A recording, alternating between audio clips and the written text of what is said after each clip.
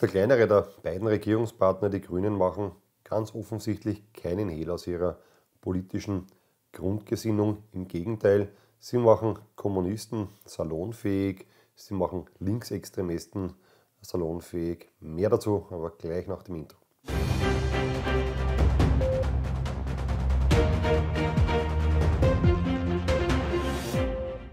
Vorab einmal herzlich willkommen den vielen neuen Abonnenten auf unserem Kanal. Ich gehe davon aus, dass wir diese Woche noch die 30.000 knacken werden. Bin eigentlich überzeugt davon. Äh, wer ebenfalls informiert bleiben möchte, bitte ein Gefällt mir da lassen, ein Abo klicken und wem es nicht schnell genug gehen kann, natürlich die berühmte Glocke aktivieren. Wenn man von Kommunisten hört, dann denkt man so an die 40er und 50er Jahre des vergangenen Jahrhunderts zurück und vielleicht abgesehen von Graz äh, ist es ja tatsächlich auch der Zeitraum, in dem die Kommunisten bei uns zumindest eine kleine Rolle im parlamentarischen Betrieb gespielt haben. Aber danach war es mit den Kommunisten ja bekanntermaßen relativ schnell zu Ende, zumindest bis zu dem Zeitpunkt, wo die Grünen Anfang der 80er Jahre dann wieder ins Parlament eingezogen sind und offensichtlich die Aufgabe der Kommunisten übernommen haben. Interessant ist, dass diese äh, Kommunisten auch jetzt äh, sozusagen wieder fröhliche Urstände in den wichtigsten Bereichen unseres Landes äh, feiern können. Einfach deswegen, weil die Grünen mit ihrer Ministerin Gewessler dafür sorgen, dass diese Personen, die eine derartige Gesinnung in sich tragen, entsprechend hochkarätig agieren können. Und das Erstaunliche daran ist, dass gerade die bürgerliche Partei oder selbsternannte bürgerliche Partei ÖVP noch dabei mithilft, diese Kommunisten salonfähig zu machen und die Ministerin Gewessel auch mit den entsprechenden Geldern ausstattet, dass sie ihre super linksextremen Freunde in alle möglichen Positionen hieven kann.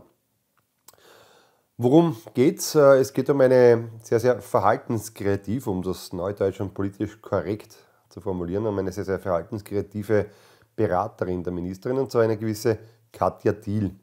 Äh, das ist jene Dame, die bei uns äh, im Ministerium äh, eine Beratungsstelle für die Forschungsagenten inne hat. Das heißt, ist auch sozusagen mit meinem Ausschuss im weitesten Sinne verbunden. Und die hat mit einer Aussage aufhorchen lassen, die schon sehr, sehr spannend ist. Und zwar hat sie davon gesprochen, man müsse den Deutschen den Traum vom Auto und vom Eigenheim nehmen. Also das zeigt schon ganz klar, in welche Richtung es geht und das zeigt vor allem auch, dass ich mit meinen vielen Videoblogs, die ich in diesem Zusammenhang schon gemacht habe, wo es um einen Umbau der Gesellschaft geht und so weiter, wohl nicht ganz falsch gelegen bin. Äh, die Frau Thiel geht aber auch noch einen Schritt weiter, weil sie spricht auch davon, äh, dass nur der Kommunismus eine ordentliche Zukunft für alle garantieren würde. Also wer es bis dato noch nicht geglaubt hat, muss sich zumindest an diesem Zitat einmal stoßen. Vielleicht auch einmal ein kleiner Disclaimer an die ÖVP. Äh, ihr habt in eurer Regierung Menschen sitzen, die äh, mit, ganz offen mit dem Kommunismus liebäugeln, vielleicht einmal darüber nachdenken, ob man dieses Spiel nicht vorzeitig beenden sollte. Ah ja, aber wie gesagt, äh, die Autos von ihren Fahrzeugen befreien und von ihren Eigenheimen. Dieser Traum muss zerstört werden, das sagte Frau Thiel und gleichzeitig berät sie die Ministerin Gewessler. Und genau das ist der springende Punkt, denn in diesem Zusammenhang erkennt man vielleicht auch, warum gewisse Dinge in unserem Land laufen, wie sie laufen, warum einfach Straßenbauprojekte mutwillig eingestampft werden, warum man eigentlich überhaupt nicht willens ist, den Menschen in der momentanen Kreditkrise zu helfen, warum es hier keine Programme und keine Konzepte gibt, warum diese ganze Bodenversiegelungsdebatte immer vorgeschoben wird und das eigentlich äh, fast schon zynisch, denn äh, wenn wir immer mehr Zuwanderer in unserem Land haben, dann werden wir auch immer mehr Wohnraum benötigen und Wohnraum ist gleich Bodenversiegelung. Also wenn man gegen die Bodenversiegelung was machen möchte, dann müsste man eigentlich an der Zuwanderungsschraube drehen, das aber nur nebenbei. Aber man sieht, wenn die Ministerin Gewessler sich mit derartigen Beraterinnen umgibt, dann weiß man einfach, wo die Reise hinführt und warum Dinge so laufen, äh, wie sie sind. Und genau deswegen ist hier auch Vorsicht geboten und genau deswegen schauen wir uns das ja auch immer alles im Detail an. Aber ganz grundsätzlich kann man vielleicht noch davon sprechen, dass äh, die Grünen ganz offenbar ein Demokratieproblem haben. Denn wir haben erst vor kurzem die Aussagen des Herrn Bundespräsidenten gehört, der davon gesprochen hat, äh, einen Herbert Kickel der, auch wenn die FPÖ stärkste Partei wird, äh, nicht automatisch von ihm mit einem Regierungsbildungsauftrag betraut werden würde. Das muss man sich einmal vorstellen. Also er sagt bereits jetzt, dass er die Mehrheit, also so die FPÖ natürlich stärkste Partei wird, aber dass er die Mehrheit in diesem Land ignorieren würde, nur um seine eigene politische Gesinnung und sein Gewissen, wie er es gesagt hat, irgendwie in Einklang zu bringen.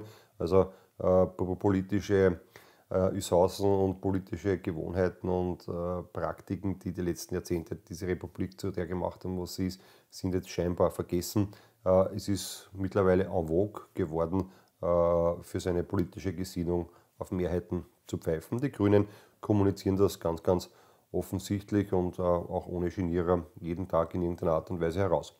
So auch die von uns allen sehr, sehr geliebte Clubobfrau der Grünen, die Frau Maurer, die zuletzt auch wieder davon gesprochen hat, dass wenn die FPÖ stärkste Kraft werden würde, müsste das aus ihrer Sicht nicht zwangsläufig heißen, dass ein FPÖler auch Parlamentspräsident werden würde, so wie es aber eigentlich die letzten Jahrzehnte immer üblich war, dass die stärkste Partei im Nationalrat selbstverständlich auch äh, den ersten Nationalratspräsidenten gestellt hat, der jetzt übrigens äh, mit Wolfgang Sobotka nicht schlechter besetzt sein könnte, äh, äh, wie man ja ganz offensichtlich jeden Tag erkennen kann. Ja, also die Grünen würden auch einen freiheitlichen Nationalratspräsidenten nicht wählen wollen. Das heißt, auch hier wiederum äh, legt man sich natürlich mit der Mehrheit an, hier pfeift man drauf. Äh, hier macht man eigentlich als kleine Miniaturpartei einen relativ großen Wirbel und ich bin ja froh, dass nicht alles, was in diesem Land politisch passiert, zumindest nicht in der Koalition, also dass die nicht für alles irgendwie heranzuziehen sind und vor allem nicht besonders relevant. Aber nichtsdestotrotz, es ist wichtig zu verstehen, wie die Grünen ticken, wie die Grünen mit Demokratie umgehen und was sie bereit sind zu tun. Das sollte uns eine Mahnung sein, denn die Grünen sind bereit, alles zu tun, um ihre Ideologie umzusetzen. Und das ist die große Gefahr, die man hat. Also das, wovor man bei der FPÖ immer gewarnt hat, machen in Wirklichkeit die ganz, ganz Linken und das sollte man einfach nur wissen. Äh, zum Abschluss äh, gibt es aber doch eines, äh, was mich das Ganze ein bisschen lockerer sehen lässt, und zwar der Umstand, dass es auch schon einmal, dass der Wähler immer recht hat und das hat man in dem Jahr 2017 gesehen, weil da gab es schon einmal eine Wahl, wo der Wähler gesagt hat, also liebe Grüne, wir brauchen euch für viel, aber jedenfalls nicht im Parlament. Und damals sind die Grünen bekanntermaßen an der 4%-Hürde äh, gescheitert. Und ich hoffe tatsächlich, dass das auch wiederum eine Option für die Zukunft ist. Man kann ja die Grünen ganz einfach wieder aus dem Parlament entfernen. Das wäre wahrscheinlich die einfachste Lösung, um hier irgendwelchen antidemokratischen Strömungen entgegenzuwirken und vor allem einer Renaissance des Kommunismus in unserem Lande. In diesem Sinne, ich wünsche euch noch einen schönen Tag. Wir sehen uns dann morgen. Die Ibiza-Affäre hat die österreichische Innenpolitik im Jahr 2019 nachhaltig aufgewirbelt. Alexander van der Bellens Aussage So sind wir nicht galt bald nach Beginn des Untersuchungsausschusses und den Ermittlungen der WKSDA gegen die ÖVP als überholt. Es offenbarte sich ein tiefer Staat, errichtet von der türkisen ÖVP. Doch diese ist gescheitert. Die Türkise-Familie ist in Auflösung begriffen. Christian Hafenecker konnte gemeinsam mit seinem Team im Untersuchungsausschuss Unmengen dazu beitragen, dass die korrupten Machenschaften aus dem türkis-schwarzen Umfeld schonungslos an die Öffentlichkeit gelangen. Der Untersuchungsausschuss hat bewiesen, dass nicht die Mächtigen korrupt geworden sind, sondern die Korrupten mächtig. Seine Eindrücke, seine Rückschlüsse, sein Fazit hat er in seinem Buch So sind wir kompakt zusammengefasst. Sichern Sie sich jetzt gleich Ihr Exemplar der dritten Auflage unter www.hafenecker.at und erhalten auch Sie einen spannenden Einblick in den tiefen Staat. Wer schnell ist, erhält, solange der Vorrat reicht, sogar ein Buch mit persönlicher Signatur von Christian Hafenecker.